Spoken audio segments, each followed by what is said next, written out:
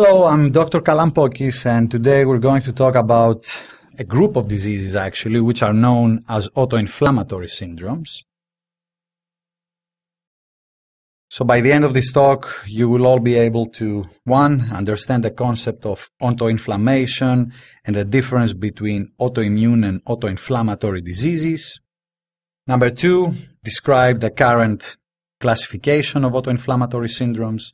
And number three, summarize the genetic basis, clinical presentation, and treatment of autoinflammatory syndromes. The next slide is just an outline of the presentation. So first of all, we are going to define autoinflammation versus autoimmunity. Then we're going to present the current classification of autoinflammatory syndromes. And finally, we're going to review their clinical presentation and treatment options. Now, a simple way to think about the two concepts of autoinflammatory versus autoimmune diseases is demonstrated in the figure on the top of the slide. In both types of diseases, tissue damage is mediated through our immune system. However, in autoinflammatory diseases, there are no MHC class II associations, and innate immune cells, such as macrophages or neutrophils, are the main mediators of tissue damage, and the main defect in these diseases is overexpression of IL-1 beta. On the other hand, in autoimmune diseases, there are distinct class II MHC associated haplotype susceptibilities, uh, as well as uh, autoreactive T or B cells that drive disease activity. In fact, like everything in nature that occurs in spectra and not categories, there are diseases out there that share features of both autoimmunity and autoinflammation. The best known of these diseases is Behçet's disease. And that is why also you can see in the figure, autoinflammation and autoimmunity are depicted basically as a spectrum and not just as separate events in nature. And in an even simpler way how to remember autoinflammation versus autoimmunity, in autoinflammation, the innate immune system is the central component mediating damage, where in autoimmune diseases, the main defect is in the adaptive part of our immune system. Well, in the next slide, let's expand a little bit on this concept of autoinflammation. So, IL-1, interleukin-1, is one of the main mediators of inflammation with multi-immune system effects one of the most common clinical effect of IL-1 is coming from the fact that it is a pyrogen and it clinically mediates fever. And that is why fever is a very common feature of all these syndromes. Go into a little bit more details. So the auto, the word auto, as you see in quotes in autoinflammation, is basically interleukin 1 itself, either interleukin 1 alpha or interleukin 1 beta. In fact, the most recent data support the role of IL-1 beta to be more critical than IL-1 alpha. So, IL-1 can induce its own gene expression, processing, and secretion. So therefore, IL-1 can chronically trigger its own receptor, which then leads to the production of more IL-1, so you have this positive feedback loop which we interpret in immunology and rheumatology as an autoinflammatory process. Another point is that uh, there's something that's called the inflammasome, and inflammasome activation is central in the initiation of the IL-1 cascade. We're going to talk a little bit more about what the inflammasome is and what it does in the next slide. On the left part of the slide, you can see a, a number of inflammasome activators. The term NLRP uh, stands for a certain protein on uh, because the, there isn't just like one inflammasome. There are multiple inflammasomes based on the proteins being involved, and NLRP3 is the most well-studied one. So you can see that inflammasome NLRP3 can be activated by a large number of things such as pathogens, environmental insults such as silica and asbestos, even endogenous danger signals, as well as even adjuvants from vaccines. This slide demonstrates IL-1 mediated autoinflammation. So we're going to start with a gray box numbered number one on the right upper corner uh, of the slide, and then we will move clockwise along, you know, numbers two, three, four, five, six, eight, and nine. So looking at the right upper corner of the of the slide, you can see that cells expressing the receptor for interleukin 1, and these are usually myeloid lineage cells, they bind either IL-1 alpha or IL-1 beta. Now, going towards number two, following the binding of IL-1 alpha or IL-1 beta to the extracellular domain, the intracellular or TIR domains are being activated. These recruit a signaling molecule called MyD88, and this initiates signal transduction to the nucleus. So in number three, following MyD88 recruitment, NF-kappa beta or AP1 translocate to the nucleus and the IL-1 beta precursor is synthesized. Now let's go to number four, where you will see a big red oval. This big red oval basically consists of the inflammasome. In this particular example, the NLRP3 inflammasome that we mentioned in the previous slide. As you can see, what then what the inflammasome is is basically an intracellular multi-protein complex which are composed of several components. The first component is something that's called NLRP3 or cryopyrin. Then there is an adaptor protein that is called ASC, which stands for very complicated name, apoptosis associated speck protein with a caspase activation and recruitment domain. And then it involves also pro-caspase 1.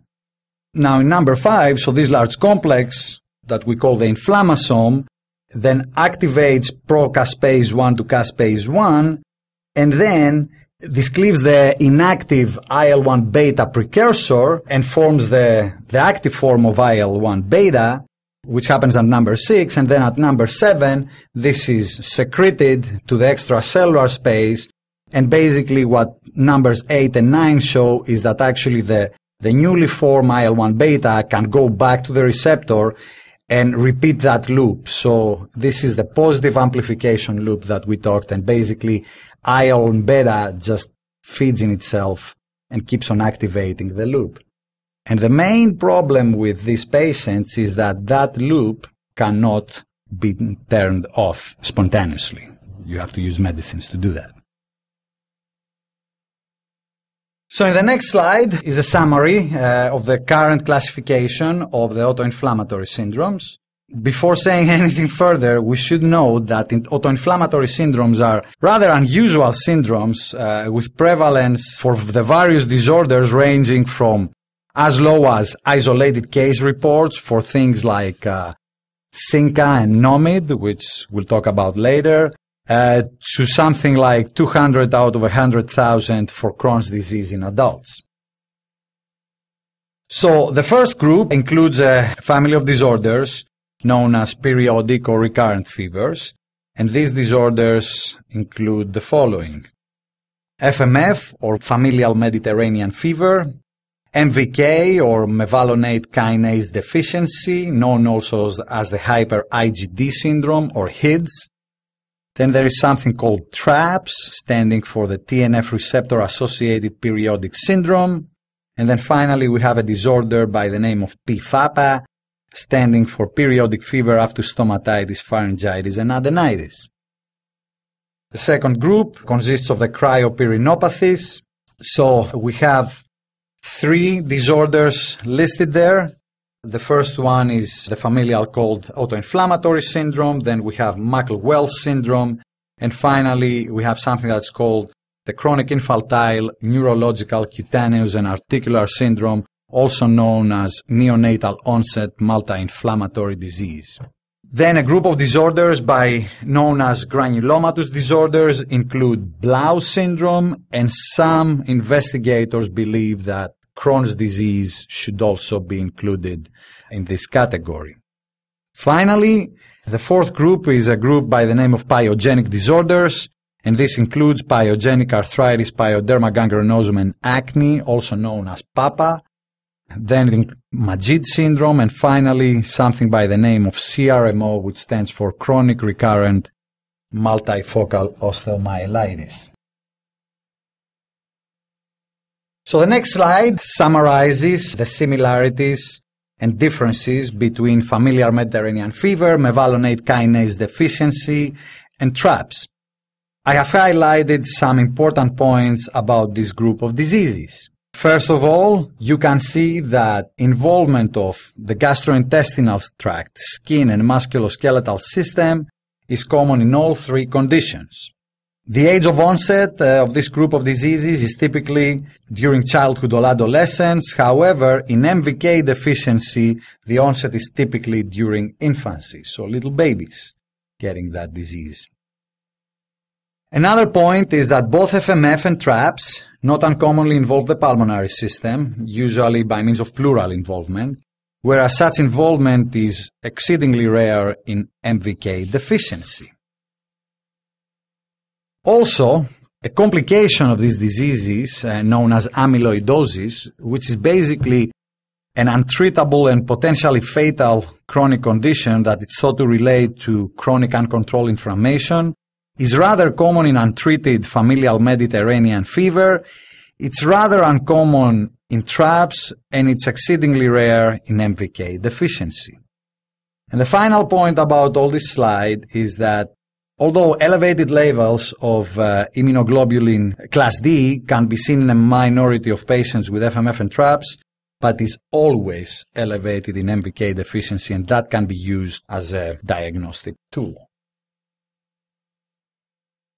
Now, I would like to spend a little bit more time on a disorder that belongs to the previous group of the periodic fever group, which is called PFAPA, standing for periodic fever aphthous stomatitis, pharyngitis, and adenitis because it is actually the only periodic recurrent fever syndrome with absolutely no identified genetic basis, and it has, as you can see from this slide, some rather unique features.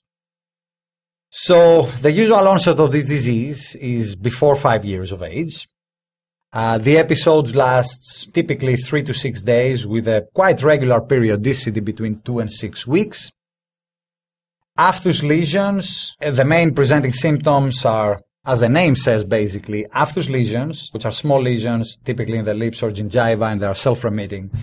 Tender cervical nodes, sore throat and swollen cervical lymph nodes. Abdominal pain and arthralgias are rather uncommon. A very important thing about this particular syndrome is that these kids have normal growth and development, and in fact, this is one of the diagnostic criteria. Uh, in general, children with untreated autoinflammatory diseases do not grow and develop normally, but not in this case. Another interesting thing about the syndrome is that uh, the syndrome basically has a benign course and it tends to resolve spontaneously with time. And usually, most patients, by the time they reach adolescence, they don't have any episodes anymore, although there are exceptions.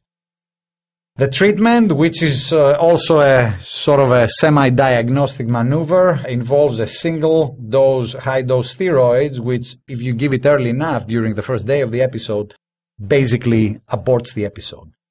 And then there are other things that have been proposed for treatment, such as tonsillectomy and cimetidine, but their therapeutic role at this point is rather unclear.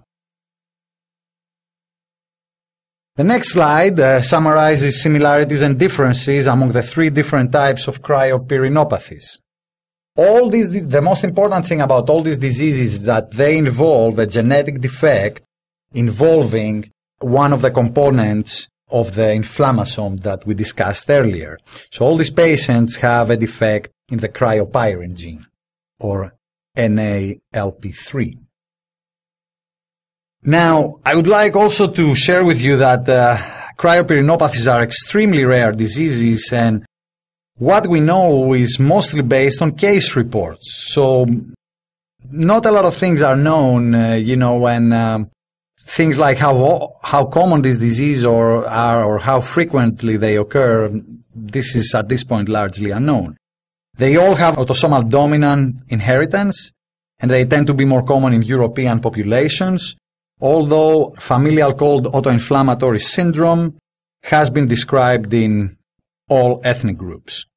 The familial cold autoinflammatory syndrome is the least severe form of cryopyrinopathies, whereas CINCA or NOMID is the most severe form.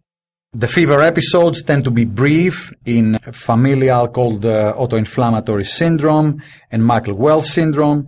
In contrast, fever is a continuous phenomenon in CINCA and. All three syndromes have skin and articular involvement.